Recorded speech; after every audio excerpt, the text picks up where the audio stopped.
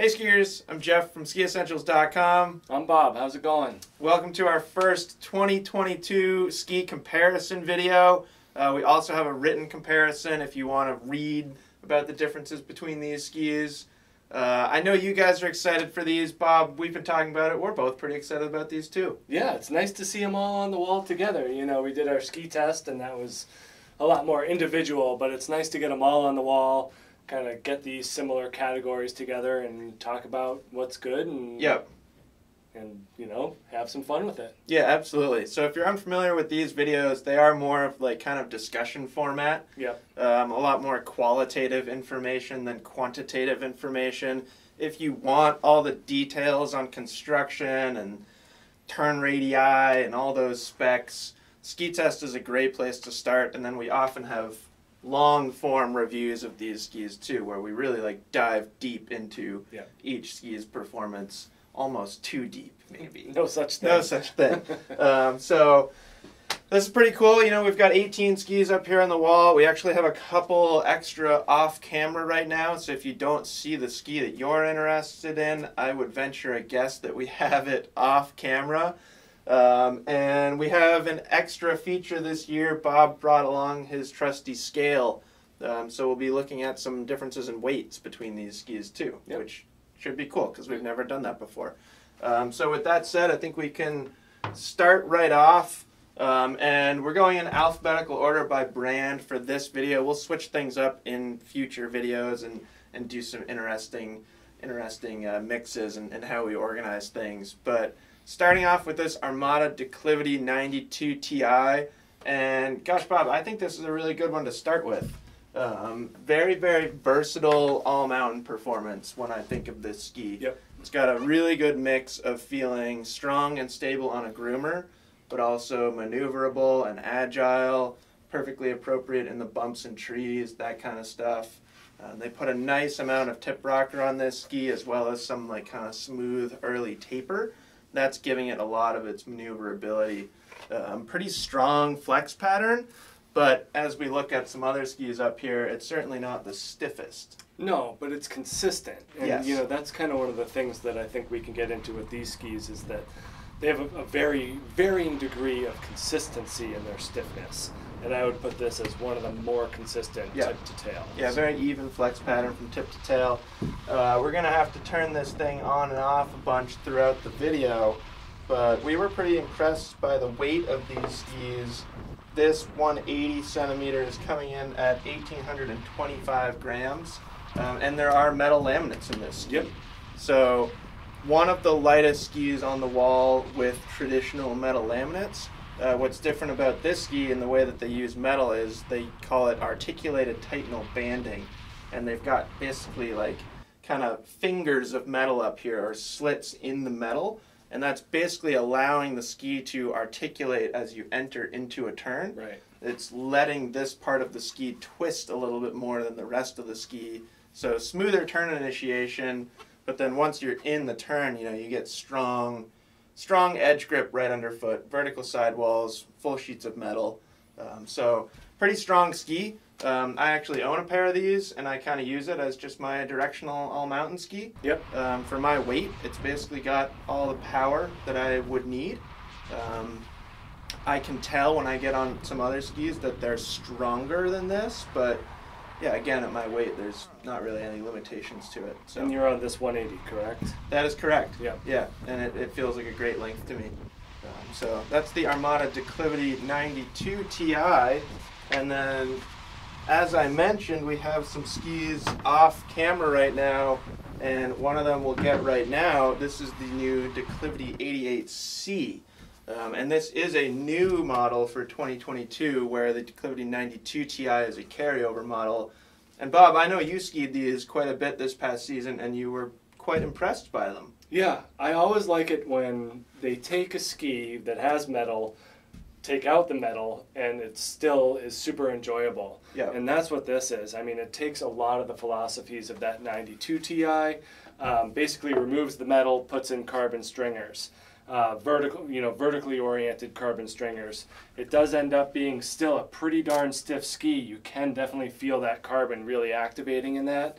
Um, and when you're on it, it makes a lot of sense. So a little bit narrower, a little bit better torsional stiffness, even, you know, almost almost more than the metallic uh, version. Uh, but just a ton of energy coming out of the turn with this one. Um, what'd you get for a weight on The that? weight on this ski went down to 1,710 grams. Right, so like 150 grams lighter or so. Yeah, we are dropping four centimeters in length, but Yeah. almost negligible difference in length.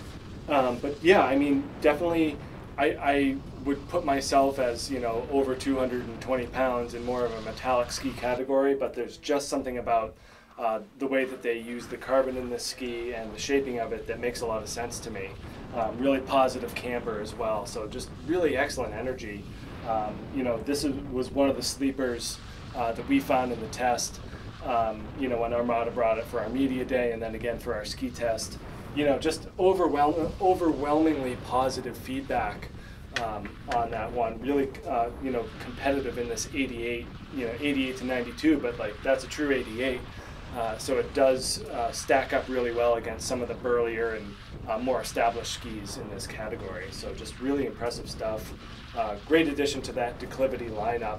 Um, Yeah. You know, and we see, and then we see the 108 uh, at the top end Yep. uh, in terms of The opposite ends of the spectrum Correct. from this ski.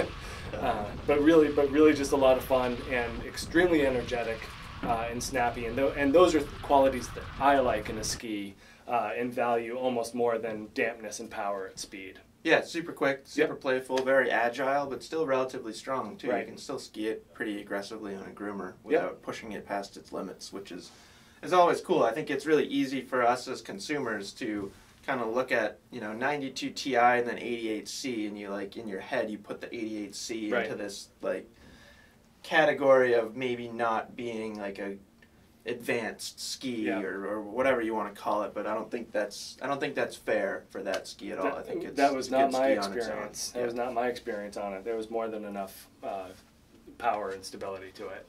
And moving right along, Bob, we got another new ski here, the Atomic Maverick 88. Yeah, this Ma- these Maverick series skis are replacing the Vantage, uh, the outgoing Vantages. Um, and one of the things from like you know the Vantage 90 Ti, this would probably be a more direct replacement for that. Um, you know, if you have kept up with us in the past, we would say these Vantages are incredibly stiff and quite light. Uh, those things have carried through to the Maverick, uh, but there are some differences as well. Still relatively stiff. Still pretty darn stiff. Uh, 16, 60 grams for this one very light. um, in the 176 centimeter length. A couple of differences between Vantage. Uh, they've done away with the ProLite construction and gone to a more traditional uh, build, full wood core, two sheets of metal. Uh, in terms of the sidewall, they do have more of a hybrid sidewall here. So, like mostly sidewall, but with some step down cap. But that cap tapers into the ski uh, and really kind of ends into a full cap in the tips and tails. Lines up well with the rocker profile, um, and that increases the quickness of this ski. They also added the HRZN or Horizon. I can never tell I what assume we're supposed to say Horizon. Horizon Tech tips. Um, so, you know, shaping the tip to have more surface area without increasing width adds a little dimension of flotation to this 88. Um, but overall, when you get on these things, uh, w- what impressed me most was just the knife-like quality of this thing. I mean, you put it on edge, and you have completed the turn before you know it. Uh, and that's what a light and stiff ski does. Is it really brings you into the turn and and really just busts you through the turn until the end.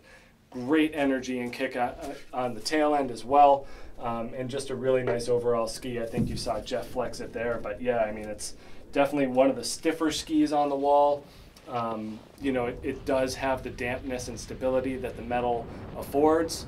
Uh, not quite the freight train as you know some of our next skis coming up, but uh, definitely enough strength and power to handle some pretty aggressive skiing. Yeah, absolutely. And this, I, I feel like the Maverick 88 is a really good example of what the modern all mountain ski is. Yep. Like I feel like this is the trend that the entire industry is kind of heading towards is still utilizing metal or utilizing material that gives you a similar feel like like Elan does when we get to that ski, but keeping the weight down. Yeah. Like this is, you know, looking at the declivity and talking about how that was pretty impressively lightweight while it uses metal. This is even lighter. Yeah. So it's really cool to see how these manufacturers have been able to retain metal in the ski's construction, but bring the weight down Yeah. significantly.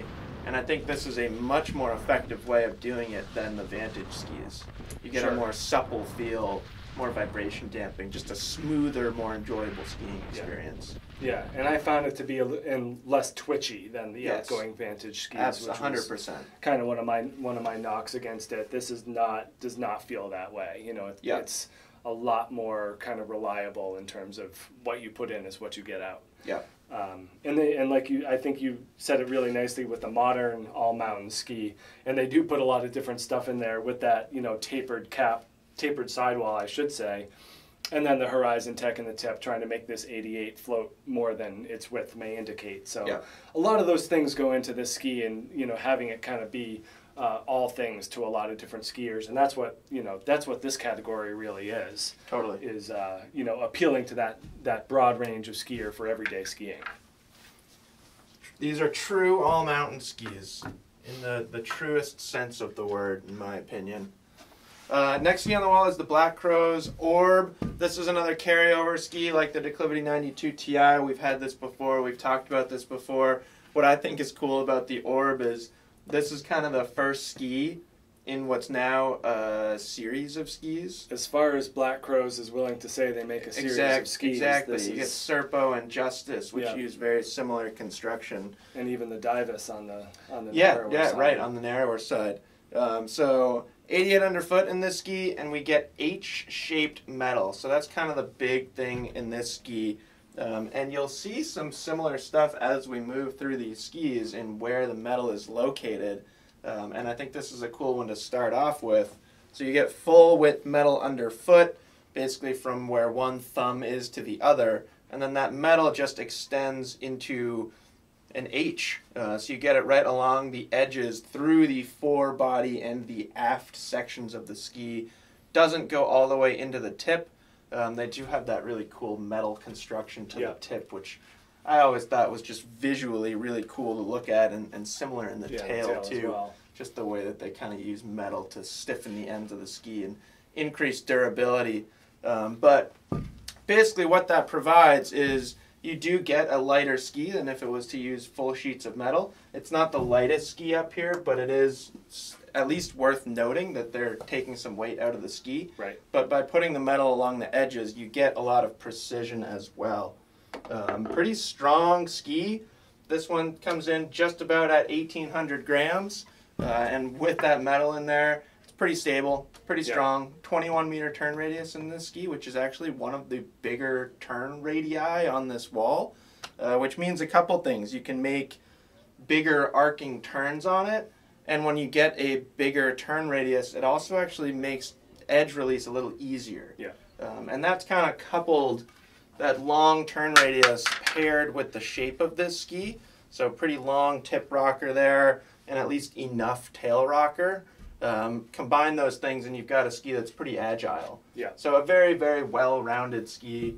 Um, kind of going back to the Declivity 92 in the sense that it it's a true all-mountain ski. You get a nice mix of stability and power on a groomer, but then free ride maneuverability when you take it off trail. Yeah. Pretty darn good mogul ski. Um, a lot of things you can do on this thing. And we can just put this uh, this K2 Mindbender uh, 90 Ti as well as the Rustler. Yeah, Rustler. There's some similarities between these. Just in terms of their H-shaped metal versus K2's uh, Y. Titanal Y beam. So K2 instead of the H on the end puts uh, a straight that that end tail of the Y in there, but uh, mid body forward these two Very have very similar. similar constructions in terms of their metal application. So I like pointing that stuff out. Yeah, and the differences in construction in the tail on those skis basically just means that you're getting a little bit more oomph Yep. out of the tail of this ski. Yep. A little bit stronger performance out of the tail of the orb. Um, so, you know, kind of depending on skiing style, whether that's a benefit to you or not. Right. It's really whether what, how you're finishing your turn, whether you want kind of a stiffer tail that'll hang on, or something that's a little looser. Yeah. Um, but yeah, great ski. Um, and we'll have the Serpo in another comparison, uh, which really impressed a lot of us and has a lot of similar characteristics to Yeah. the Orb. Yep. Yeah, and just a nice, you know, again, as they're not saying it's a series like an Enforcer Yeah. series, um, they are incorporating a lot of the same shaping and construction techniques into uh, some of their varying skis. So it's nice, you know, I don't know if nice to see, but it's interesting to observe. Abs- yeah, absolutely. And I think it, it's worth noting with a brand like Black Crows that traditionally has made very different skis, as, as those skis Right. do have at least similar characteristics, which I think is cool. Uh, up next, we got a Brahma 88. This is a mainstay, uh, another carryover uh, ski here from 2021. Um, this is the 183, so it's going to tip the scales a little bit more, 2182 grams. Um, so it would be a little bit less for the 177, I believe, is the next size down. I believe you're right. Um, you know, with their with the change in this last year, they moved to their True Blend uh, core construction, which is just a mix of stringers in the in the wood core, um, and it per length they're able to vary uh, the length of those stringers, uh, so you do get a different feel per length. Um, one of the interesting things I noticed about this ski was that in this 183, this felt a lot more comfortable to me than the 189, which I would kind of naturally gravitate to given my size. Uh, but I was way more impressed with the uh, you know the performance of this in the shorter length uh, in this size here. Um, you know, and I kind of have a mental block against going on a ski below 185, but this definitely changed my mind. Um, you know, and nothing that we could say hasn't already been said. This is, I would say, the fastest ski on the wall. yeah, there's um, like maybe one down there that, yeah. that would that would compete against it. Yeah. But yeah, strongest, stiffest, fastest, heaviest. Yep, two full sheets of metal, even a even a third underfoot, really gives this thing a nice, strong, even flex all the way throughout. Um, you know, you can even feel that it's even the shovel though it's not quite as stiff as when we get to something like this Ranger 92 Ti, um, but the consistency from tip to tail of this is uh, is about as as rugged as it gets. Um, but yeah, we you know if you are that type of skier that's 50 miles an hour or over, uh, this is this is the way to go. Um, just a really nice entry to the turn, strong, confident finish. Um, I didn't get a turn radius on this one, but it's a little Seven- 17? 17 Seventeen point five in the one eighty 17.5. three. Yeah, so it's for me to be on a ski like this in a 17.5 meter radius. I definitely felt the roundness of the turn Yep. and the ski's willingness to complete that turn, which I really liked. I think that's been an improvement to the Brahma Yep. over the years. Um, True Blend kind of enhanced that too. Yep. And I had a similar experience on the 177 and like similar situation where like on a ski like this in my mind I generally want a 180. Yep. So 177 even though that's a small drop I'm kind of like nah probably not gonna probably not gonna be enough for me. um, but it was like the total opposite of that. The 177 for me just allowed me to access the ski's performance a little more easily. Um, comes across the fall line quicker. Yeah. You know, I don't feel like I have to put as much input as on a previous version of the Brahma. Still a lot of skier input. It's still a, a demanding ski that wants to be skied, uh, but I do think they've made it more approachable. Yeah, and I, you know, ego is a funny thing in this sport, and I think, Yeah. you know, for a ski like this, it's okay to check your ego and be like, all right, I'm going to size down and Right. have a wonderful time. Just And- the fact that you're on it in general Yeah. should be enough of a an ego boost Yeah. for you. You don't have to worry about putting No. yourself on the 189 to impress people in the lift line. No, but you know, it is. It was funny skiing the 189 and that back to back, and the one. I mean, you really just you had to go Yeah. straight until you reached a certain speed, and Yeah. then start your turn. Whereas that was operable at a multitude of speeds. Yeah, absolutely. I haven't skied the 189 in this ski. I probably never will. Um, but I, I remember testing the 187 in the previous Yeah. version of the Brahma, and yeah, just like literally would go straight for like a quarter mile, Right. And then Yeah. make a couple And then you can make a couple turns, and then you're at the bottom. So. Yeah. Um, next ski is another ski from Blizzard, another carryover. This is the Rustler 9. Um, it's been around for a while now. I mean, it, it seems crazy, but I remember when we talked about the Rustlers as a brand new addition to Blizzard's line Yep. and kind of marking a, a significant product change in the industry in general, I think. Um, now they've been around for a while, and I think it's fair to say that they've become kind of a staple in the all mountain category. Um, a little bit wider than the Brahma. I think this ski comes in at what 91 underfoot. It's on that ski, of course. Sorry, 94 underfoot. This is one of the longer That's the 180. 180. Um, so we get kind of a a staggering in widths on this ski. So this was actually probably the widest ski up here at 94 underfoot. Um, so a little wider than the Brahma. And then the big thing on these skis is they use more tip and tail rocker, and they also use Flipcore DRT. Um, I always like DRT because it reminds me what the ski is supposed to do. DRT stands for Dynamic Release Technology. So where a ski like the Brahma has a tendency to want to stay on edge, complete its carving turn, you know, really clean, round finish, this lets you release your turn in dynamic different ways. Great. Uh, which I think is just a really good way to think about the ski's performance. It's allowing for a multitude of different turn shapes and styles. Now we still get this metal laminate underfoot, so in this portion of the ski, full width metal, uh, very very strong feel, and there's good camber in this ski as well. So there are certainly some similarities between this ski and the Brahma, especially if you focus on right under your foot. And then as you reach the tip and tail, the metal kind of goes into the middle of the ski, like we were talking about with the Mindbender, very similar to the tail of the Mindbender, except this does it in the tip and the tail.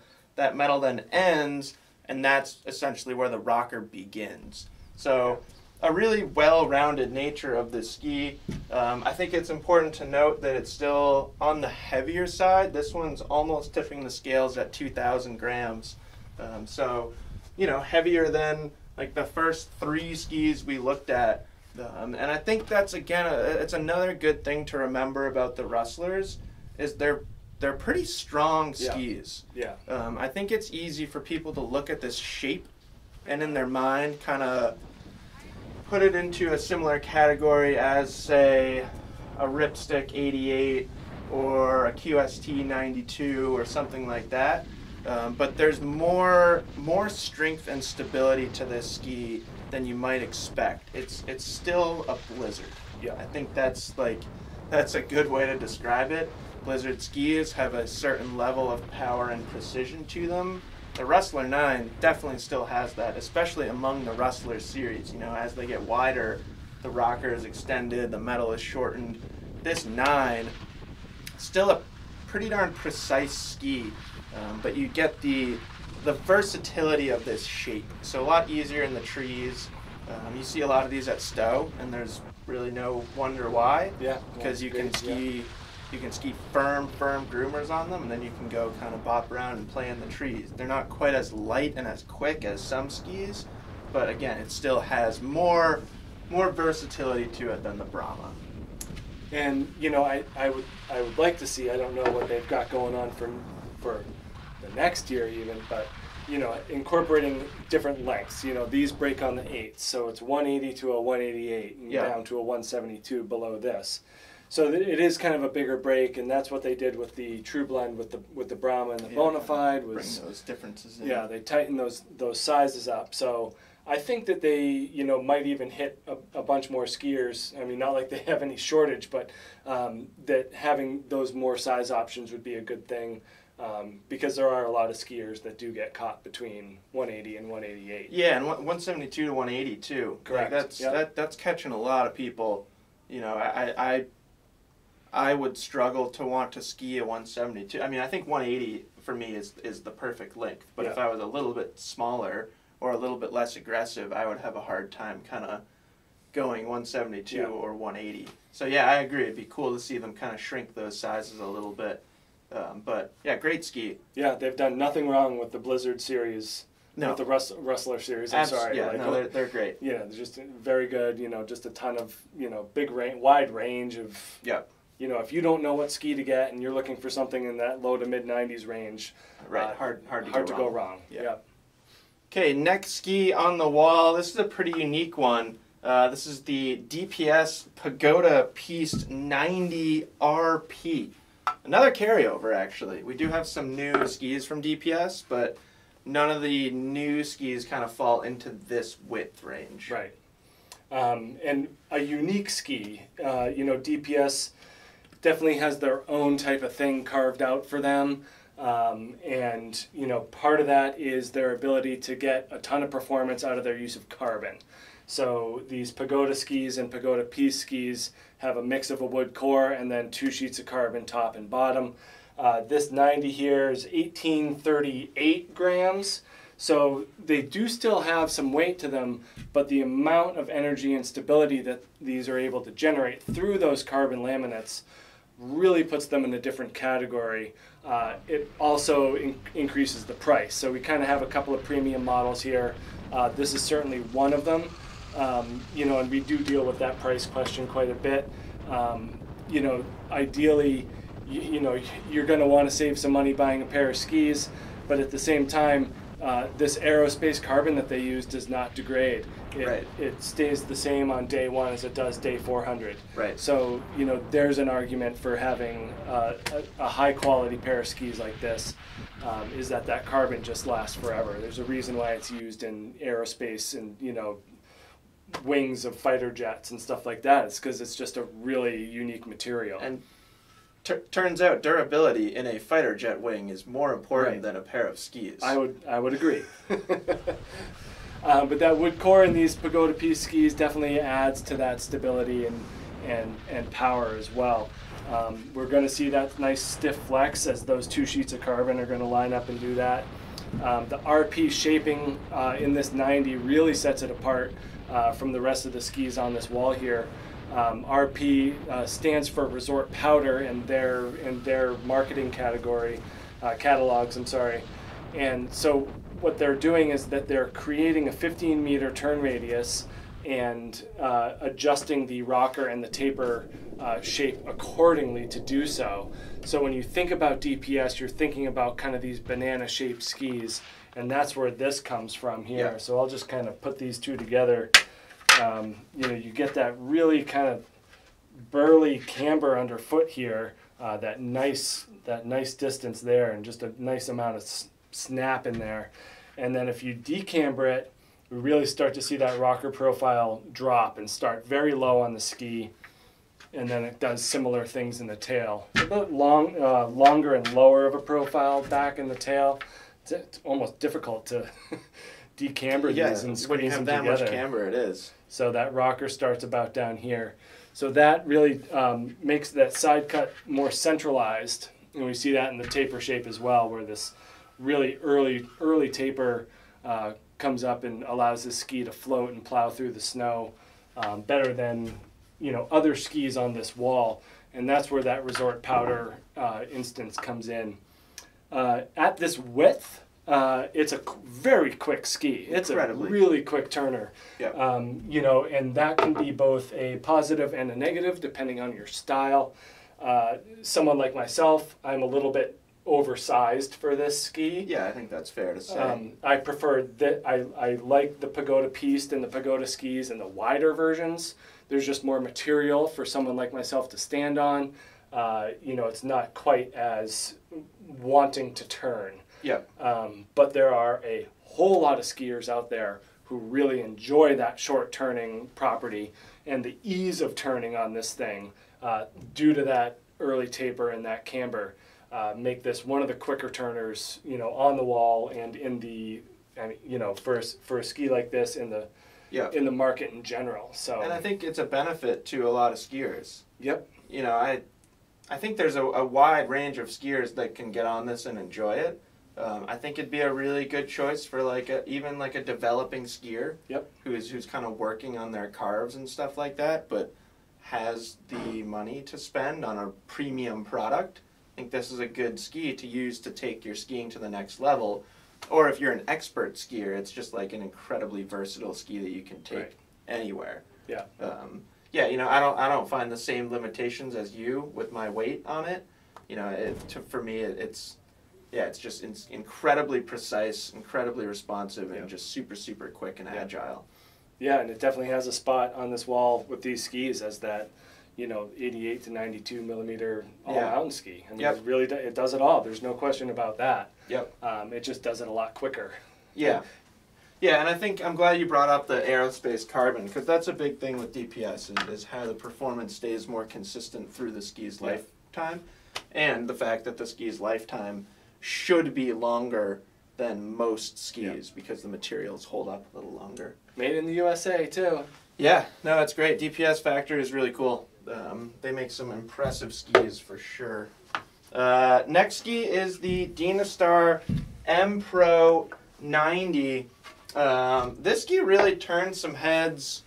Gosh, last season. Yeah, the, these years are running together for me. Yeah, it's really confusing. It gets real confusing for Bob and I. Um, but when this ski was introduced, we were both really impressed by it.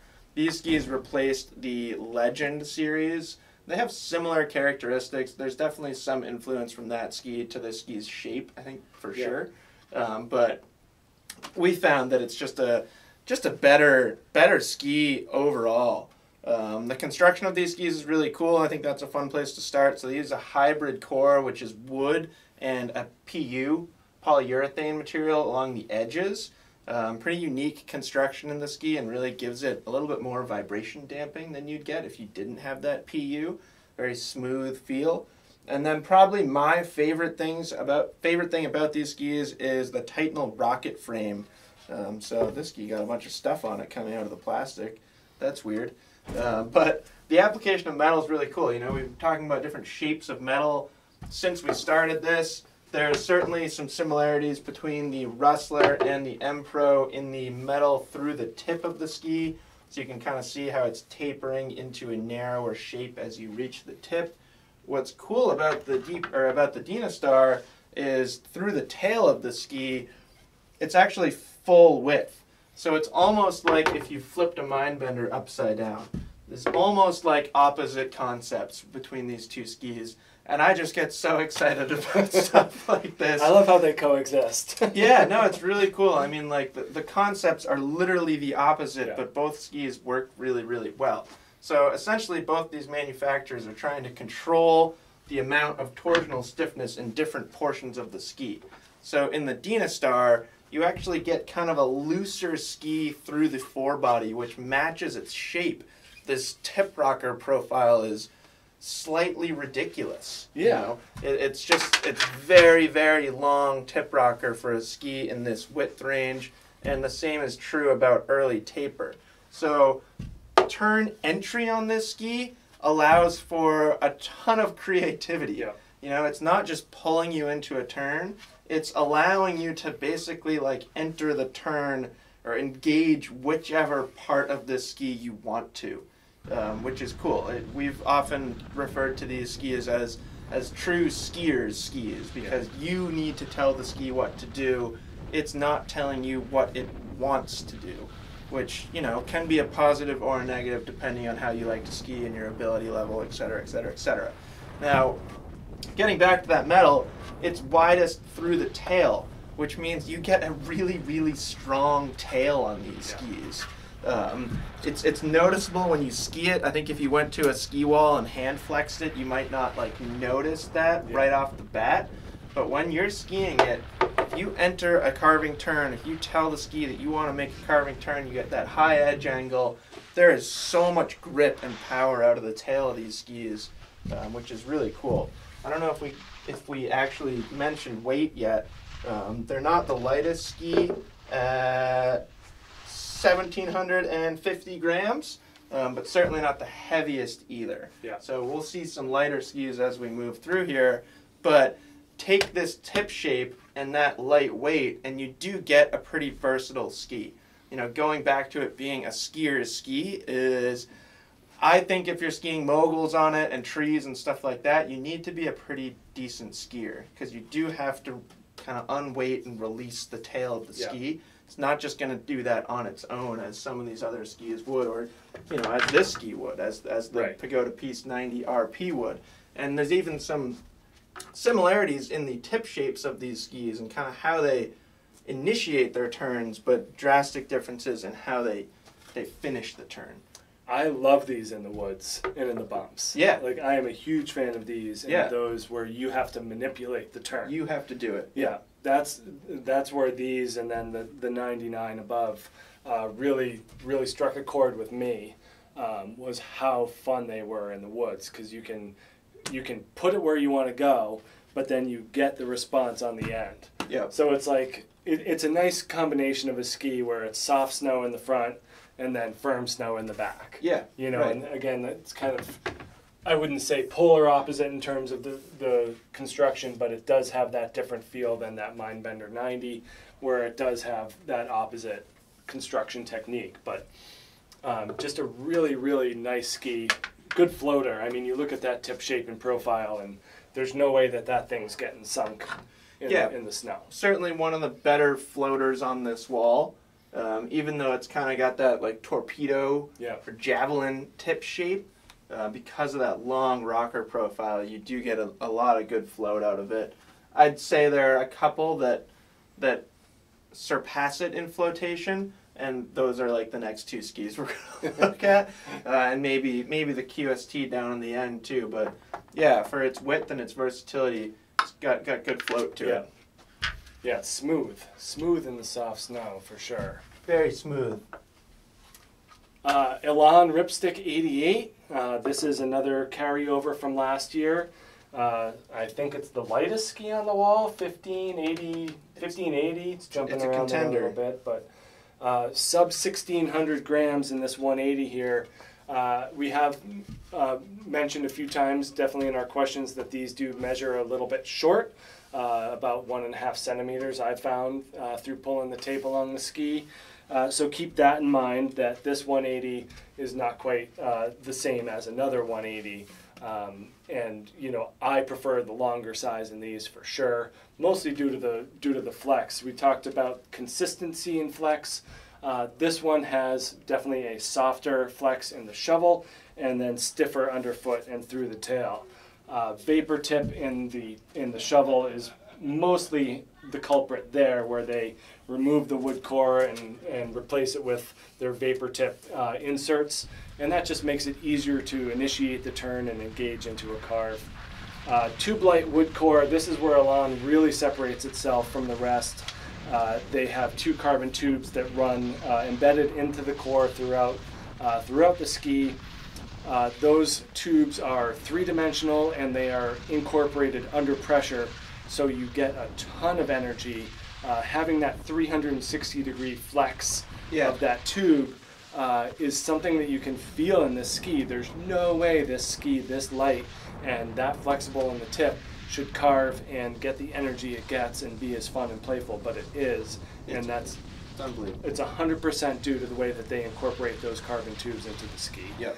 Um, so- Very unique to Elan. yeah. Um, and then since they make these skis in an asymmetrical fashion, they're able to take more liberties with the construction. So carbon line technology is incorporated incorporated here as well. So along the inside edge, uh, there's an extra sheet of carbon uh, just on that inside half of the ski. So that's, as you can imagine, is going to make that inside uh, stiffer and more responsive and more precise, leaving the outer portion of the ski uh, more playful and able to, you know, initi- uh, not initiate but not grab um, the, the the snow better. So it's a, a very smooth. When you get, you know, left foot, right foot turn on these things, Yeah. there's like no lag in the in the transition. It and is- extremely intuitive too. it's extremely intuitive, You know, super smooth. back to this ski where you have to kind of tell Yeah. that ski what to do. This maybe doesn't tell you what it wants to do, but it gives you some nice suggestions. Yeah. Let's go over here. Let's go over here, and it does it with just such Yeah. a smooth, intuitive feel. Um, I, I definitely feel like lighter skiers uh, have more success on this. Yeah. You know, I find that I'm pushing through the tips on these even in the 188 a little bit. Uh, but that doesn't mean that I dislike it overall. Uh, it's just a little bit too flexible for someone of my size skiing the way that I do. Um, but I definitely appreciate and understand how they're building their skis Um, and then in the wider and uh, the black editions of the Ripsticks 96 and 106, uh, those end up being better for someone like me. Yeah, and it, it's, it's it's a good thing to bring up because you know at my weight I don't find that same Yeah. limitation. You know, they're pretty much perfect for somebody around my size. I'm not pushing it past its limits by any means. To me, it's just this extremely well-rounded all-mountain ski that can carve, that can dance through moguls. Um, very, very, very well-rounded. Yeah. Great tree ski for around here. If you need to make quick Yeah. subsequent quick turns, this is this is a fantastic option. Yeah, no, they're they're they're really cool skis, um, and there's certainly something to be said about just how Elan is building their skis right now. Yeah. In you know, in contrast to really how everyone else is building their skis, Right. particularly in those carbon tubes. And it's something that I would encourage people to experience. Yeah, If- definitely. if you haven't skied a new Elan, um, you might not understand what we're talking about, and it is it is sort of hard to communicate how unique they feel. Yeah. Um, especially like if you took a bunch of skis that use carbon, these feel different than like every other Yeah. ski that uses carbon. Yeah. I think DPS falls into that too. The way that you, they use carbon, particularly the the quality of carbon that they use. You know, you can feel a difference between that and some other skis. Um, but yeah, the carbon carbon tubes are, are really cool in that Ripstick 88. And there's four of them. You know, in the in the black edition ski is the quad rod. Yeah. And I know you've you've subtly asked Elan for a, a Ripstick 88 Black Edition, and I've seen some other people as well. So It's a fairly popular request. it'll be interesting if On our if, uh, if we get that down the road. Um, next ski is the Fischer Ranger 92 Ti. Uh, this is a carryover ski. It's been around for a few years now, Yeah. four four years or so. We do get a new graphic for 2022, but the ski itself remains the same. Um, for whatever reason, this ski feels like it often gets overlooked, often surpassed for a different model. I'm not sure why, because it's an extremely good ski. Um, all of Fischer's Rangers share similar characteristics. They all have this kind of what is it, arrow, arrow shape, arrow shape. arrow yeah. shaped build, uh, where the top sheet is kind of con convex, um, a little rounded to to rounded finish to the ski, and, and you kind of you you drew some similarities to Volkl before we started filming in the sense that it's kind of their version of like 3D ridge Right. where you get more material in the center of the ski that allows them to kind of shed some weight along the edges of the ski. Um, this ski also has their carbon tip, really important construction element for Fischer. Really wouldn't be a Fischer Ranger without this carbon tip. It's one way to really easily identify them when you're out there on the hill. What's cool about this construction, and we used to have a like see-through top sheet ski where you could really see this Yeah. nicely, is the carbon tip actually connects to the metal. So it basically goes carbon tip, narrows to just a center strip, connects with metal, and then that metal widens and is full width through through the ski underfoot. Yeah. Um, so really nice blend of materials in this ski. 92 underfoot. This nice long tip rocker as well. So that carbon nose, um, you know, like we were saying, talking about float. This is certainly one of the better floaters on the wall at 92 underfoot with that nice long tip rocker.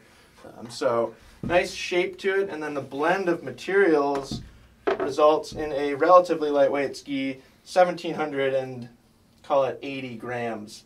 Um, so maybe not light enough for alpine touring. Kind of depends on you as the skier. Fischer does put a skin attachment point on the tail of this ski, which I always thought was really cool. Kind of a nod to its its free ride potential use. Um, but yeah, in my opinion, just a very very well rounded ski. Uh, not like the most powerful ski on the wall, but pretty darn strong. Um, Yeah. I think that's something that often surprises people when they get on these skis. Is you look at the tip shape, you know, and, and sort of similar to the Dynastar, and, and how you you might look at the tip shape and think like that's not a very strong ski, but then you get on it and, and there's quite a bit of responsiveness and grip Yeah. through the forebody and through the tail of the ski. Um, I also think it's a great tree ski. You know, it's fun on groomers. It's fun to link carving turns on, but it's pretty agile in the trees as well. Yeah. Not as quick as like a Ranger 94 FR, where they lighten the ski up a little bit more, put more tail rocker back there, but certainly a true all mountain ski. Yeah. You can take it anywhere, very versatile for a wide range of, of, of conditions and terrain. Um, we did a full review on this ski the beginning of last ski season, um, which was really fun because there aren't very many. I don't think there are any other Ranger 92 full reviews out there, and it was really fun to put some time on it, really get a sense of its nature and its personality and, and Yeah. what it can do. And it's it's a strong ski. Yeah. really really really good all mountain ski. And this is one of those ones that has a little bit less of a consistent flex. Yes. Uh, this carbon when it when it peels up from that uh, titanal Pretty uh, underfoot. This is this tip is just about as stiff as it gets on this wall. Yeah. Um, and then gets a little bit more flexible, um, you know, through the forebody and, and, and into the tail. Um, but still, uh, and we see that in the other Fischers. And I think this, Yep. you know, getting kind of buried, um, uh, you know, by the success of those 94 FRs Totally. and the 102. Yeah. Um, you know, it just gets a little bit buried by that. Um, but there's really no reason. You know, we field a lot of comments from people that are interested in the 94, but then they also say, I spend most of my time on trail. Right. And I, and I prefer stability. This is the better ski. Right, and I'll gently nudge them to, to Yeah. this. You know, if you like the you know if you like the concept of that 94 FR, but want a little bit better carving performance without sacrificing too much, uh, you know, free ride aspect, then this is this is probably a good way to go. Yeah. But yeah, like you said, just something that we, you know, over the years have come to appreciate, and you know, Fischer just does a great job with that ski, you know, from tip to tail. Yeah, the QST 92 feels like another ski that often gets Yeah. overlooked. For some, I don't know if it's the 92 waist width number. Yeah. I don't know what it is, but for some reason, not very many people seem like they're excited about those skis, but they're so good. Yeah. They're both, which we'll get to the 92. Uh, but yeah, they're, they're both just very good skis. Yeah, definitely. Next up, we got a Head Kore 87. Um, this is a revamped model for this year. Uh, you know, they didn't change everything about it, but they changed enough to uh, certainly make some notes about it. Yeah, Um, absolutely. I think it's just a, the, it's a better ski. Yeah. Just Yep. objectively, the changes made it better ski. So 1590, 1593 grams here. Uh, this is the 177. Uh, one of the big things they did change are the lengths, uh, as we talked about with the blizzards. Yep. Um, having they used to have a very big. They used to have a nine centimeter break, so it went from 180 to a 189, and then down to a 171 on the other end. Yep. Uh, and I think that kept a lot of skiers out. So they tightened it up with this. So 177, 184, 191. So they're going by uh, the sevens. So it'll be a 170 below this, to the best of my recollection. Um, and so that tighter grouping will allow more skiers to, you know, hone in on what they're what they're looking for. Uh, the other big thing that they did was they took away the Koroyd in this ski. So now we have a Karuba wood core with carbon and graphene. Uh, a little bit more of a, I think, a vertical application of those carbon stringers. Uh, again, when we're talking about these cores, we have probably the highest uh, stiffness to weight ratio on the wall here. Yes. So just a really stiff flexing ski, uh, but at that extreme light weight. Uh, consistent flex from tip to tail, uh, unlike the Elan and the, and the Ranger, which are actually kind of opposing there. Uh, but I would say this is one of the stiffest hand flexing skis here on the wall uh, from tip to tail. Which is interesting because I think a lot of people, when you think of stiffness, you correlate it to weight. Yep, But this is the lightest ski right. and also the stiffest. Sure. So that traditional correlation between weight and stiffness Yep. is kind of going away in- the year 2022. Right, and I think that you know, we see that a lot, like even just like bike parts. You know, like Yeah. all right, you want it light, you want it stiff, then here you go. You're getting some carbon and Yeah. paying, paying a little Right, bit more money for money, it. yeah. um, but just a really, you know, it, it can, the things that have stayed the same are the quickness and precision of this ski. Uh, so you know, a lot of people will use these mostly for, especially this 87 here. Uh, you know, on groom terrain. Um, you know, it's a little. I find it a little stiff for moguls. It's still great for trees because it is so quick. You know, the lightness and the quickness counteract the stiffness. Yep. Uh, so you know, it does blend into that nice tree ski. I do find it a little unnerving to drive the tips of this thing into a mogul, um, just because it is so stiff. Doesn't mean it can't be done. Um, if you're going to use this for moguls, uh, your technique will probably be more of a side to side uh, slipping rather than an, That's what I was aggressive just. I'm line. really glad you said that because that's exactly what I was thinking. Um, it's it's a weird concept, yeah, but I think this is a good mogul ski for somebody who's worse at skiing moguls than you. okay, Like you're just too good at skiing moguls, where you want to drive that tip into Yeah. the next mogul. I don't even like to do that really. it kind of freaks me out. Where like if you're skiing slower and kind of just pivoting through the Yeah. troughs, then I think this can be a good a good mogul ski. And I think that's probably the vast majority of skiers is we're maneuvering Right. through the troughs rather than that kind of Yeah. slam into the mogul in front of you. But anyways, no, I mean, I, I think it's very fair. And as I was saying that, I was thinking that, you know, the people that we see skiing on uh, Kore skis here at Stowe, you know, that's, that's, their style. yeah, that's their style. Yeah. And, you know, and that's wonderful because they are easy to Yes. put where you want. And the same is true in the woods. Yep. If you're a slower, more methodical tree skier, Yeah. then I think these are fantastic. Right. If you're a like charging, aggressive tree skier, they might be too twitchy. Yeah. And I think that that translates well to their on trail performance, which, you know, at this width are very torsionally stiff, uh, as well as that longitudinal flex. And so what you're going to get is just a ton of precision out of this ski. Yep. You know, when you put this thing on edge, uh, they do get more uh, tapered and rockered as they get wider through the series. Uh, so this is definitely the, the most you know directional on piste oriented Yep. of the Kores. Flex pattern changes a little bit Yep. too. The wider ones are a little softer. A little softer.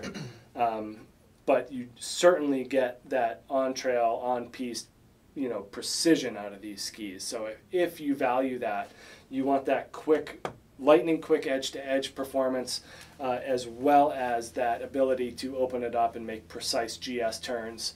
Um, you know, maybe not at the highest of speeds because you just can't make up stability uh, with something this Yeah, light. yeah. Um, once you know, if you if you counteract it with the Brahma. Right. Um, so there's just there's no way to make up that gap. There has to be something has to give, uh, just as that Brahma doesn't make those same quick side to side turns. So Yeah. uh, that's you know that top end speed is a little bit of a limitation for this, but in that uh, lower to moderate range, uh, it's it's one of the more precise and agile skis.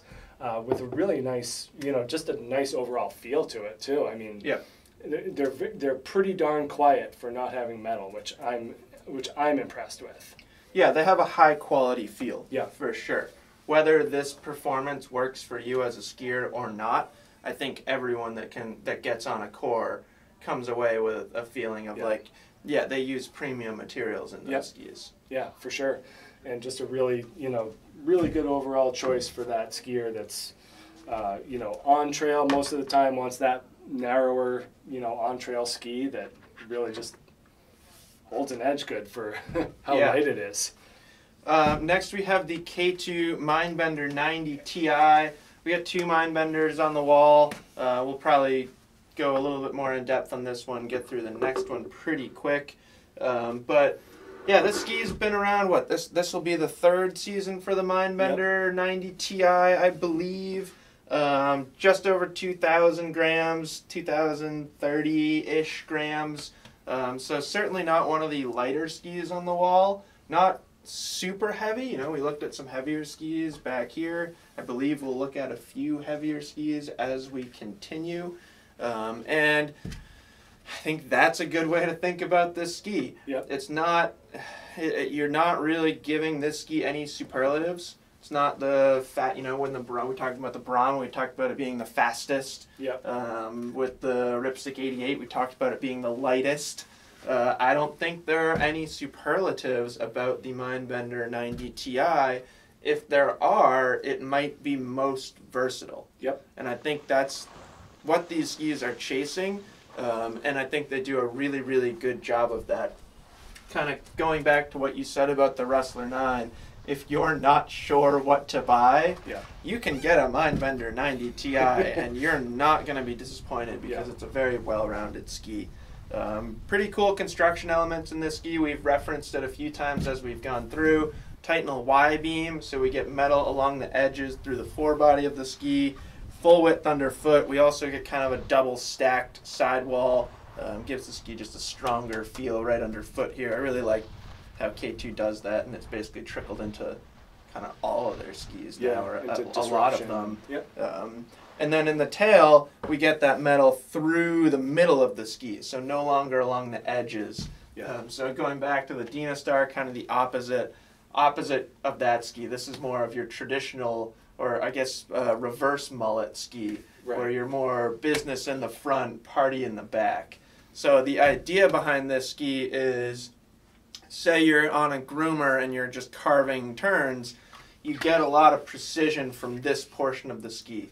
You can really like push against the sides of the ski up here in the forebody of the ski because you got that metal along the along the edge. So it gives the ski a very strong, damp feel throughout, um, and it, and it holds an edge well too. Now, when you don't want it to hold an edge well, because that metal is located through the center of the ski, it's kind of taking away some torsional stiffness through the tail. So allowing for easier release out of your turn. You know, going back to the Flipcore DRT dynamic release technology in the Rustler, similar concept here in the tail of this ski, where they're allowing it for allowing easier edge release and thus easier pivoting, smearing, kind of skidding turns. Um, so that goes a long way in providing this ski's versatility. So it's got a strong, stable feel on groomers. You know, not the stiffest ski up here, but this is another one with a pretty darn even, smooth flex pattern. Um, certainly enough stability for skiing fast and aggressively on a groomer. But then you can take it into moguls, and it becomes just a very versatile all mountain ski. Yeah. Not the quickest. You know, if you were to compare it to a Ripstick 88 or a Pagoda Piste 90 RP, these skis certainly feel a lot quicker, or a Kore 87, certainly a lot quicker, more responsive, and lighter on your feet, so easier to just kind of quickly maneuver around. Um, but this ski still has a lot of maneuverability. It's just like a little bit slower, a little bit more Yeah. deliberate, um, which isn't a bad thing. It just kind of comes along with the, the extra weight of this ski, which is a benefit if you want to ski fast and aggressively. Yeah. Um, I think it tracks really well through tro- choppy conditions. I think that's something the ski does particularly well. Um, this tip shape doesn't hook up too much. You know, it kind of not drastic early taper up here, but enough that the ski's not like doesn't feel like it just wants to go left Yeah. and right. If you want to go straight and track through some choppy snow, it'll let you do that. Um, and yeah, just I, I think it's fair to say it's one of the most well-rounded all mountain skis. Yeah, and good for I think you know this this one, and we can counteract it with a C. Uh, is is better for heavier skiers. You know, like I this is one of the ones that I enjoy driving the tips into the mogul Yeah, because I know it's gonna it's gonna flex, but it's gonna hold. right. Um, so that's one of those things that I really like about this ski is that nice, even but strong flex in the shovel. Um, and a lot of these these Mindbender TIs, this and the 99 even more specifically, I put into more of the Cadillac division of skis where you yes you do get a little bit of extra weight, but you get the smoothness and stability to go along with it. Yep. So you know they're not they're they're not lumbering, but you know they do more so than some of the other skis that we've seen. Yes. Um, and then that's kind of a nice segue into the 90C, um, which you know is roughly the same shape and dimensions. Uh, they use a little bit different of a construction uh, to achieve similar properties and results as the TI. Um, they're carbon spectral braid. So instead of metal, they use a carbon spectral braid. Um, so 1590 grams. This so- is a shorter length Shorter too, so length. that's kind of emphasizing that difference in weight. But Yeah. yeah, much lighter in the 90s. Yeah. I mean, if we had our calculator, we could do our grams per centimeter calculation. But grams per cubic centimeter. I know we we got some we got some work to do for that one. We need to build a tank to measure uh, displacement. Yep. Anyway, carbon spectral braid, um, they're able to uh, you know adjust the, the use of carbon stringers in these skis to mimic uh, that of the Titanal Y beam. So the cross hatching is uh, more consistent and thicker up front, Yep. and then in the back it is more spaced out. So that gives you that stiffer uh, flex in the shovel and then more playfulness in the tail. Uh, it is one of the softer flexing skis on this wall, um, and and that's by design. You know, they're not trying to capture this TI skier. They're trying to get someone who's a little bit lighter and a little bit mo- more moderate speed of a skier Yep. in- into something like this. Um, you know, I it does top out at a 177, so that does preclude uh, you know a fair amount of skiers You. me yeah you know I, I got on the 177 and was kind of like where's the where's the 184 and they're like Yeah. we don't make it and i'm like okay so Which makes sense. yep yeah I your mean, 184 Mindbender 90C skier should just get a 90 Ti. correct yeah you're going to be of that size that you're able to to, to push the metal but Yeah. um, you know and then you know that's an interesting conversation though to like the armada that 88c which does come in that longer length and like you Yeah. know i'm all about it um, whereas you know the, it's just a, it's a different use of carbon and different application of carbon uh, that makes that armada stiffer uh, and this one just a little bit more flexible so um, we get a lot of a lot of people that are interested in this ski uh, for that for more of an off trail purpose. You Yep. know, if I love skiing in the woods, I love skiing bumps. I want something that's easier to use but still has uh, you know good energy coming out of it, and that's I think this 90C slides really well into that into that category. Yeah, been a always been a uh, kind of a, a quiet surprise um, in our test as well. Yeah. I feel like everybody that gets on the 90C, you know, probably in their back of their mind goes into it with some expectations of limitations. Yep. Um, but yeah, the ski is, is I think stronger and, and a higher performing ski than than most people think it might be. Right. Yeah, and and, and really nice energy for what it is. Yes, Yeah. absolutely. Uh, next up, we got the Kastle MX88. Um, gosh, to go back, probably that was about an hour ago. When we started this video back here, you said something like the fastest ski on the wall for the Brahma 88. And as you said that, I like to picture a bunch of like Kastle product designers and Saying, salespeople "No like squirming in their desks and stuff. Because I think this is the this is the uh, the contender for fastest ski if it's not the Brahma 88. Uh, a little lighter. This one's just over 2,000 grams. 2030, we'll call it. Um, premium, premium build on these Kastle skis Yeah. that ski phonics that you love. Um, it's got a, it, even when you just listen to it, it sounds very precise. Yeah. Uh, we got a wood core in these skis, two full sheets of metal, uh, full sandwich construction in these skis. I always really like when you can see the metal.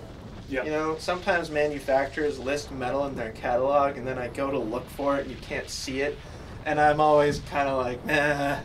Seeing's believing. I don't see it in there. Um, this ski, that metal, both sheets extends right to the edge of the ski, just pushed or sandwiched right together with the with the sidewall material, um, and it's predominantly camber as well. You know, in fact, I to me it's fair to call it full camber. It does have a little bit of rise up here when you decamber it, but realistically, it's it's about as much camber as you're going to see in this category. The other thing that's certainly important to note about these skis is the tail is very squared off. Yep. Um, it's not rounded. It's not tapered. They don't put a bunch of rocker back there or anything. Um, so certainly a preference to complete a carving turn. Yep. Going back to that conversation we had between the Brahma 88 and the Rustler 9, this ski wants to finish that carving turn, make a nice, complete, clean, round carve. The MX88 certainly wants to do that as well. Um, I love skiing this ski. It's like, I don't know. To me, it's about as good as it gets when it comes to this width Yeah. um, and carving.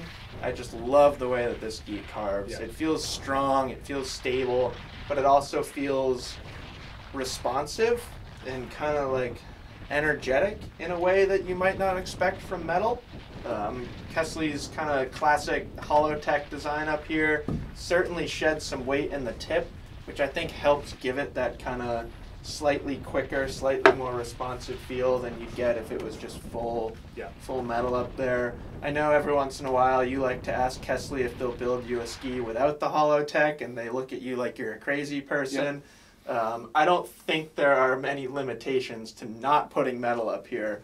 Uh, maybe somebody your size is like the only thing, but this ski is still extremely strong. I guess my my only point on that was, I would li- I would like to ski it.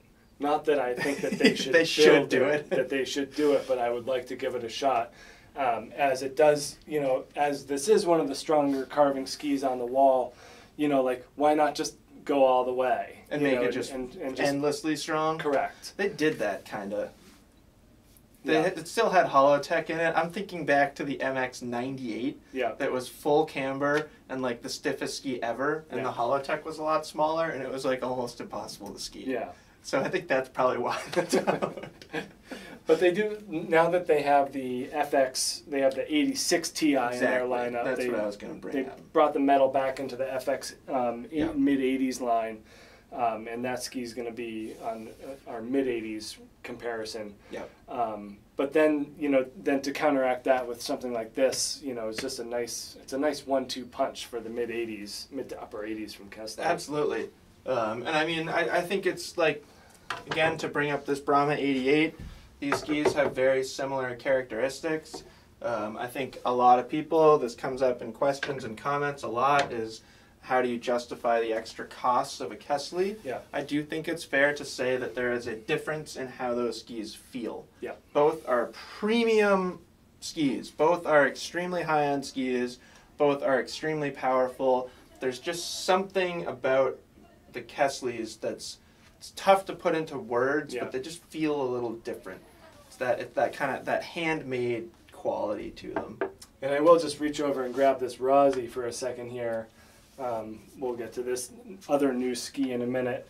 Um, but in terms of having that on trail carving capability, you know, we're going to see some similarities in the tail shape of these in terms of them being flattened off Yep. um, and squared off. And, you know, with this Experience 86, uh, having that, you know, flatter tail does make that one of the more grabby and grippy skis on the back end for sure. So that's a good comparison um, for, for, for this wall at least.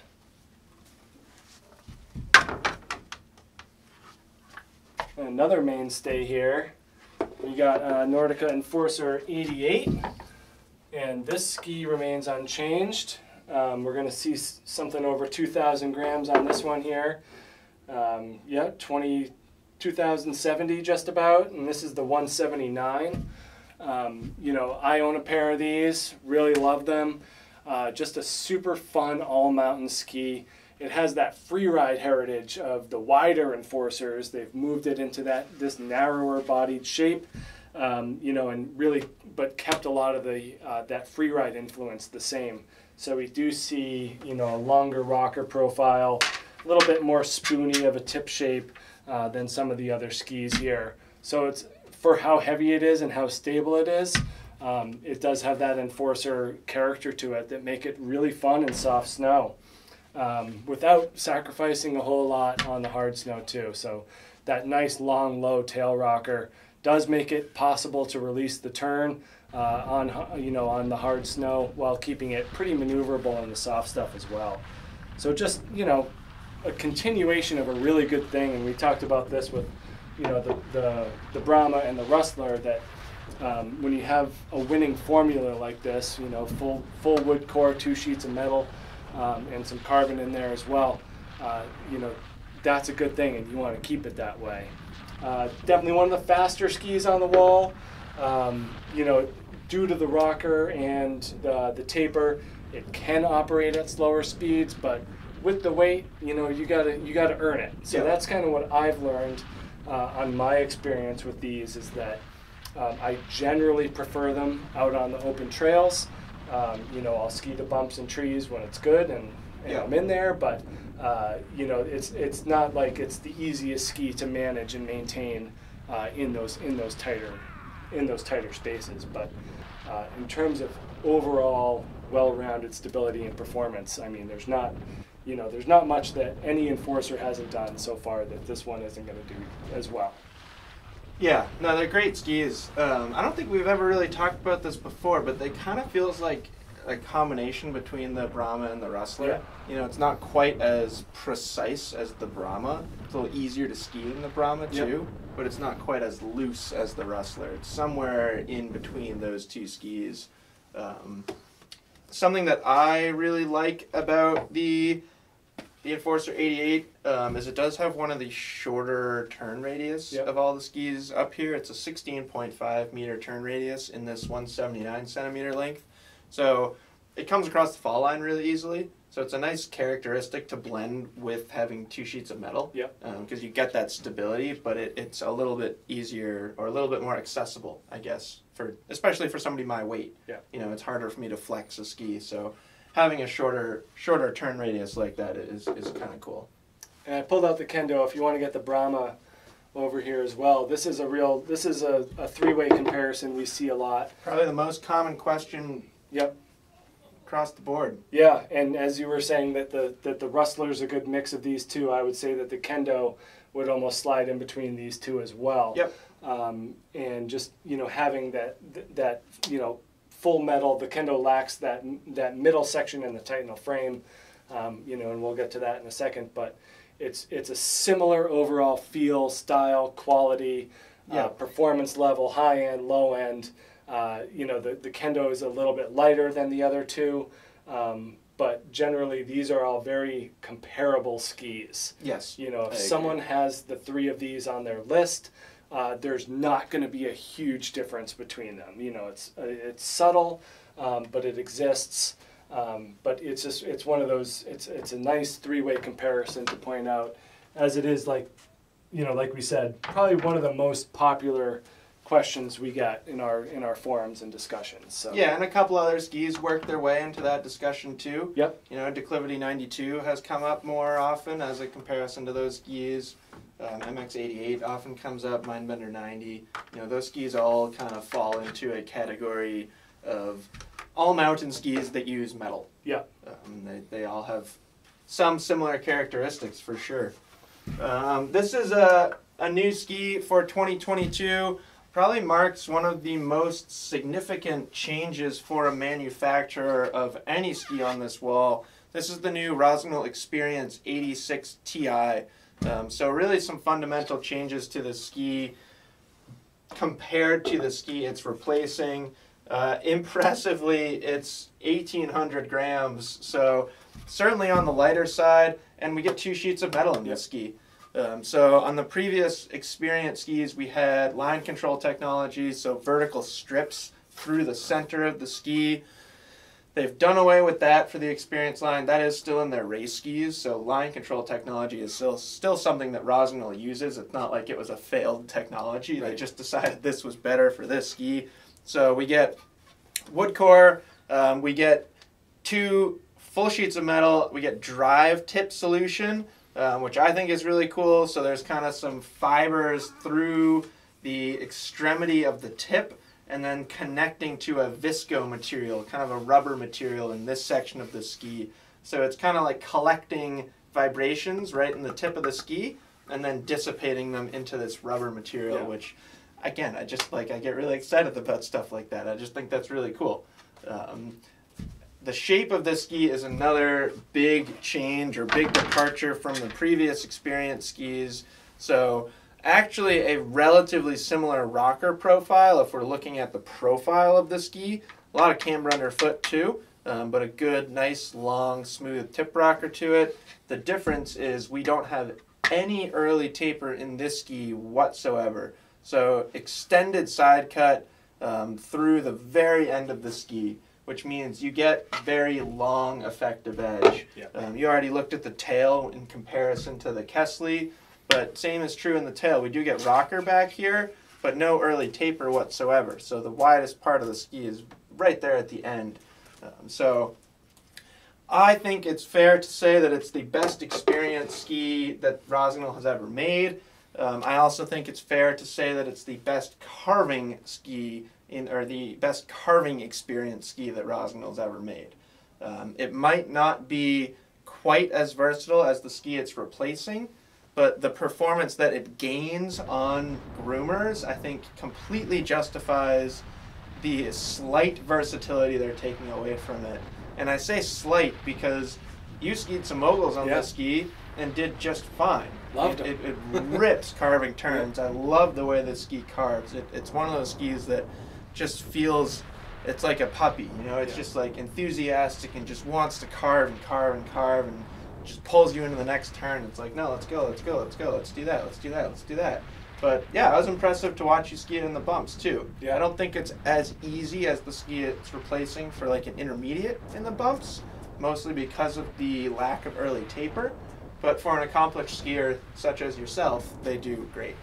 And the other nice thing is they make this in a basalt version as well. Yes. So without the metal, they add the basalt stringers, which you know does a different different thing. It retains the energy, but it's not as heavy. Yes. Um, you know, it's, it's still stable and damp, just not quite the same feel. Yeah, and a, a softer flex pattern too Yep. in those basalt skis. So if you're looking, if you're more in that intermediate ability range and you want a versatile all mountain ski, I think that's probably going to be the better choice for most skiers. And this is one of those skis that came out and just wholesale approval from our testers and staff. You Yep. know, it's just one of those ones that everyone's like, "Yep, that's it. They Yep. did it. It's Did it. It's Good wonderful. job. Yep. Um, nothing wrong with this ski whatsoever."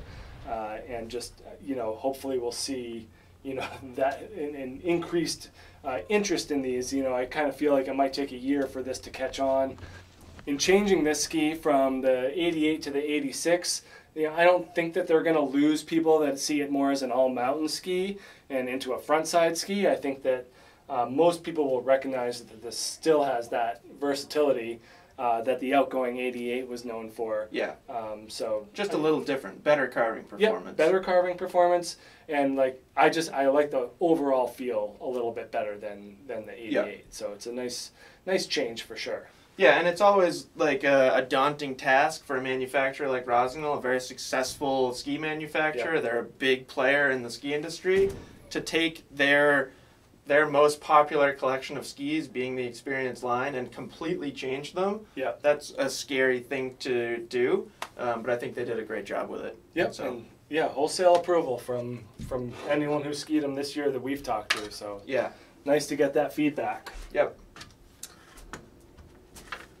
Mm, carryover ski here, Salomon Stance 90. Um, this is one of those skis, the Stance lineup that kind of came up. Uh, gosh, my years are getting all messed up. Two years ago, I Yep. think we've seen. Um, so, you know, Stance 90, uh, 96, and 102 came out. They've since expanded uh, the Stance line. They got some narrower versions as well. Uh, but this came out really as a complement to the uh, QST line, uh, which we have a QST there as well. Uh, this is the more on trail, more carving, more front side oriented version.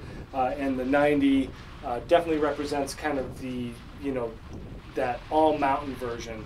Uh, the 96 a little bit better in softer snow, but this 90 is just a really, really fun frontside performer. Um, I put it up against like the M Pro 90 in terms of, uh, you know, kind of a target market audience. They do ski a little bit differently, Yep. um, but if someone's looking for that 90, uh, these those two skis come to mind for sure.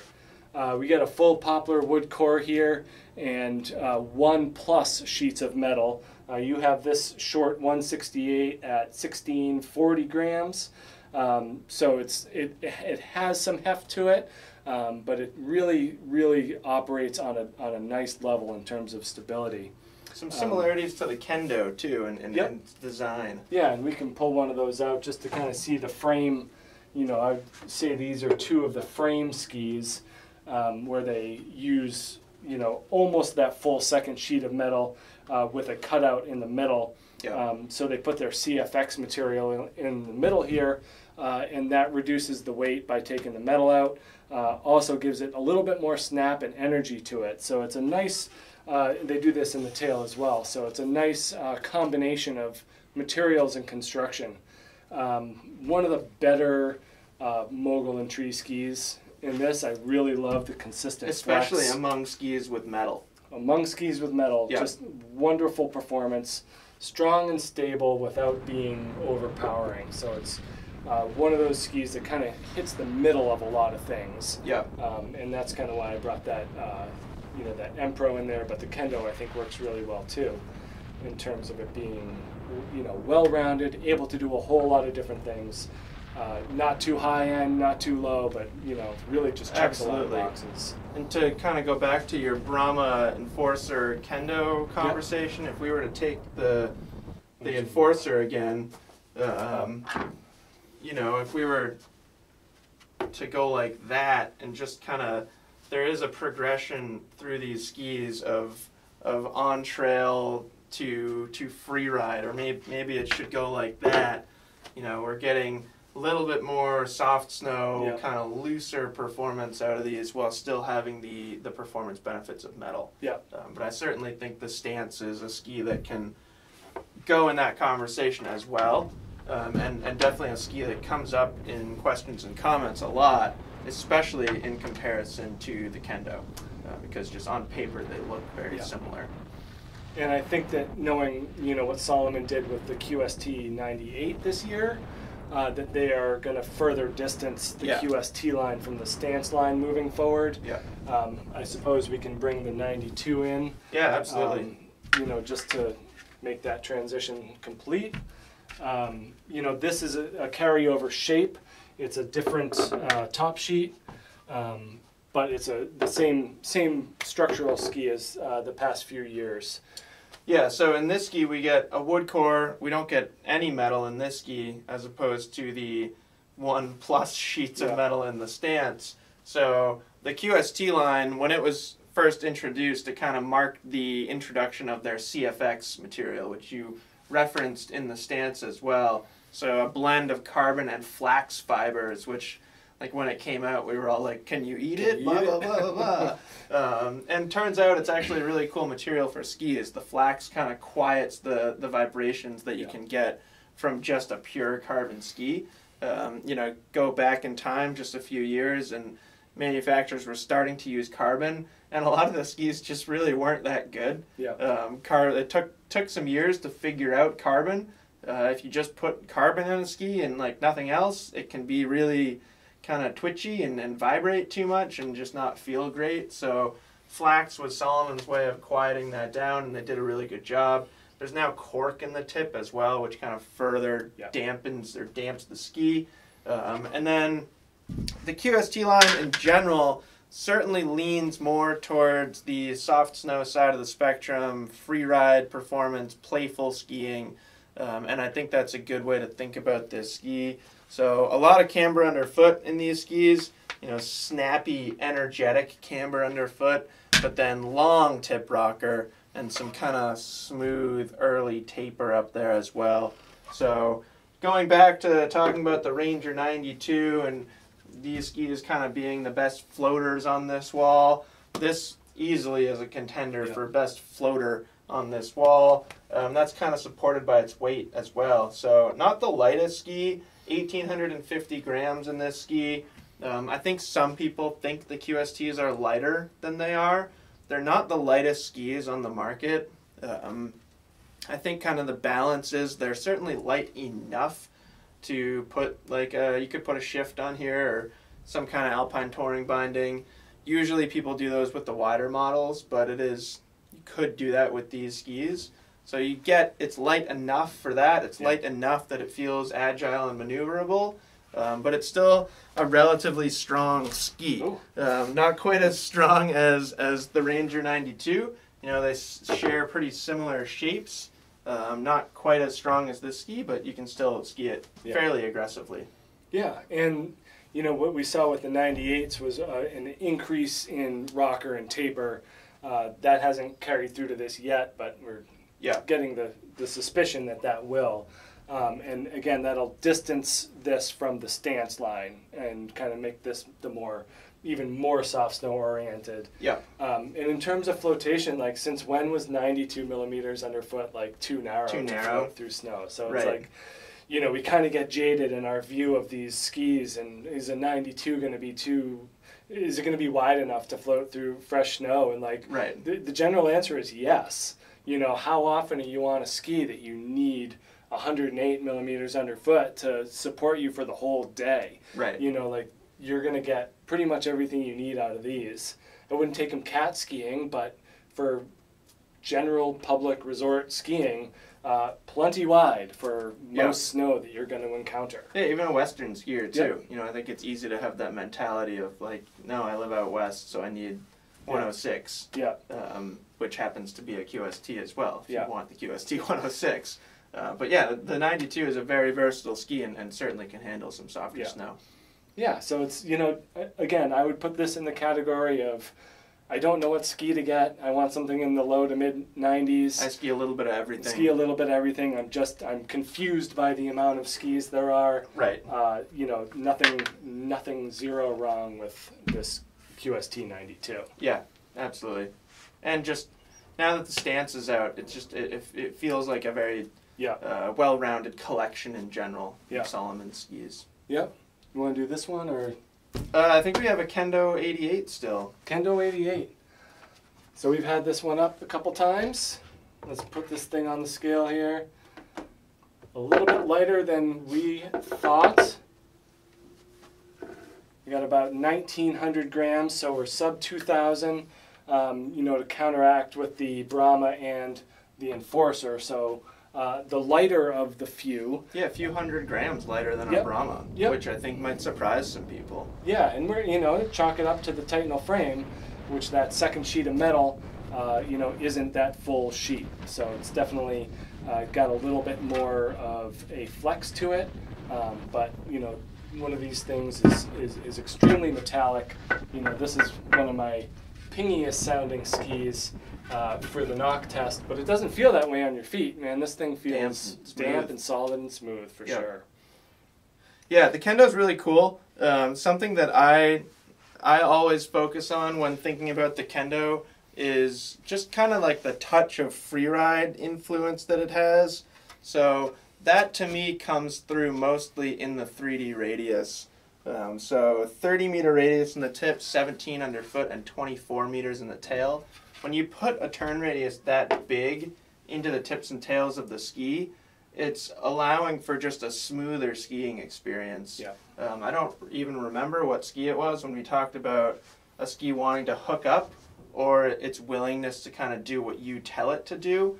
These will do what you tell it to do, um, which is cool. You know, it's it skids and smears a turn more easily than you might expect. You know, it's not like drastic rocker lines or anything like that, but the way that it releases its tail edge is, is very smooth and intuitive. Um, but then you get a strong feeling ski if you're tipping a high edge angle and carving on Yeah. it. Um, so pretty cool and just the how Volkl has engineered different feels into this ski uh, in the same ski. Yeah. And are we far enough away from the old kendo to not have this be a comparison anymore, or does that older 90 millimeter version still apply? Because I feel like this is a totally different ski. I mean, I think it still applies, but yeah, it is. It is a different ski. Yeah. Absolutely. Yeah. I mean, I think taking some weight out of it was huge. Yeah. And I think that 3D radius is also huge. Yeah. I think that, you know, out of everything that Volkl is doing right now, and they're doing a lot of really cool things, 3D radius might be the best thing that they've come up with just in general. Yeah. Because it applies to like almost every single ski that they make now Right. and there's a lot of really good benefits to it. Just a multitude of different turn shapes as well as different abilities of the ski. You know, it's not just locked into a carve or something like that. Yeah. So- And I felt the way about the old kendo as I do about the 189 Brahma, which is Yeah, right. you got to get this so thing fast. going before you start to turn. Whereas this just has a way bigger range than the outgoing than Yeah. I don't know, it's probably four years ago now before the frame. um, but you know just has a, just a much better range Yeah. um, and able to make lots of different shape turns as Yep. opposed to that longer straight fast turn.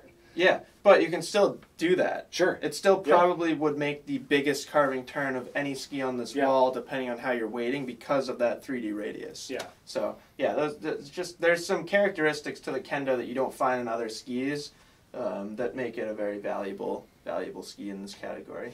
And the fact that it's that frame is, you know, the the top portions are independent of the rest of the ski, really allows this thing to have an interesting flex pattern too, um, where you do get, you know, a nice consistent and stiff flex, but if you push it, it'll bend. Yeah. You know, and that's something that the older one- older one didn't really do so good. Yeah, this one is specifically designed to be able to flex, Right. Especially right underfoot. Yeah, Um, giving you that shorter radius underfoot. Yeah. And you know, I have a buddy who skis these day in day out, and he says it feels he skis it like a slalom ski. Right. He loves skiing it in the middle and getting those short, Right. you know, active turns out of it. Yep.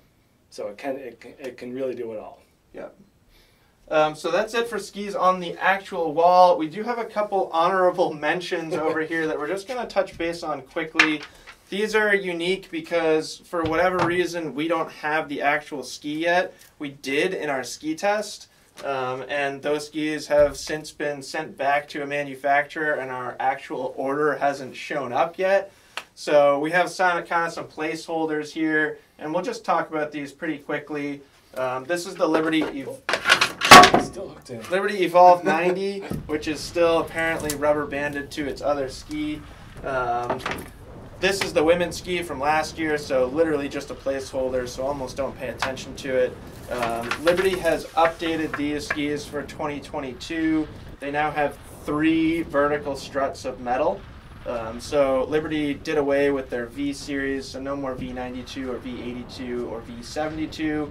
Now the Evolv series is home to their narrowest skis, and they get VMT 3.0 for 2022. Um, this shape is the same as the men's 2022 Evolv 90.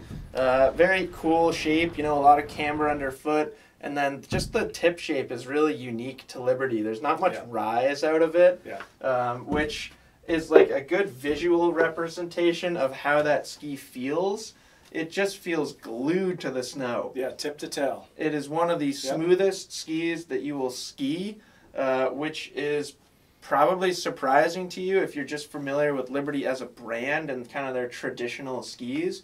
Generally, they're light, relatively soft flexing, pretty snappy and energetic. These are strong and damp and smooth. Um, I do think there's some good versatility to them. They're not like as easy to maneuver as say a Ripstick, um, but similar versatility to say a Mindbender 90. Yeah. Um, I think it is kind of where I'd put the the 2022 Evolv 90. Um, And so yeah, and I'm a, I'm a fan of that third strut, and I liked it before, and I love it now. yeah, Um, and I would even put it in the same category in terms of dampness and quietness as this next one, the Yeah, totally. here. Um, this is actually a, a 2020 graphic, um, so it's undergone a few little updates since then. A little bit denser of a wood core for 2021 yeah, a little stiffer tip. A little stiffer tip, and then we went from Tech to Tech Pro, so a little bit beefier of a metal top sheet. Um, so one of the things we talk about with the Stockli and their and their metal top sheets is that that's the first point of contact for your binding. So each and every movement that you put into your boot really gets translated directly to the metal portion of the ski, adding to that just ultimate precision uh, that these skis are, are known for. Um, so it does carry that premium price, you know, similar to the Kastle and the DPS. Um, you know, anytime you're talking about a ski that's that retails for over a thousand dollars, uh, there should be something about it that separates itself. Yeah. Um, the metal top sheet uh, does it for me, as does just the overall build quality. So again, like Jeff was saying with the Kastle, you know, when you look at the ski, you like to see the metal, see the see the quality. Uh, that really carries through with with these Stormrider 88s. Yeah, and Stormrider 88's an awesome ski too because it has all those performance benefits of metal that we've talked about throughout this comparison. Yeah. But it, the flex pattern's a little bit softer than some. Um, Yeah, which I and it- think it makes it more approachable for a wider range of skiers. And it's still it's the 2022 version is not you you won't you know you could tell a little bit of a difference, but Yeah, You know, it's not a- They're very similar. yeah, it's not an astronomical change. Yeah. Um, but yeah, you can you can flex it. You can you can bend it. You don't you're not going to get ripped apart by this ski. You Yeah. know, it's it's it's approachable, but it has that high end. I really enjoy that as a lighter weight skier. It allows me to kind of play Yep. around with carving turn shape a little bit more easily. And yeah, the Stormrider 88 to me is one of the most rewarding skis that I skied Yeah. all of last year. Just a, just a pure joy to Yep. ski. Just incredibly easy, but still a, a premium precision oriented ski. So And similar to the Liberty, you don't hear or feel yeah, anything. just impeccable vibration It, damping. it's like you're just floating over the snow, but very intuitive feeling to it. So you can make it have it do whatever turn you want. Yeah. So really impressive stuff. So that's it. Um, that's our 2022 men's all mountain around 90 millimeter underfoot comparison. I know it was a long one. I hope you guys enjoyed it. Uh, we'll be back next week with probably men's 100 millimeter. Who knows? Check back in next week uh, to find out. Let us know if you have any questions about any of the skis up here, and we'll talk to you soon. Bye.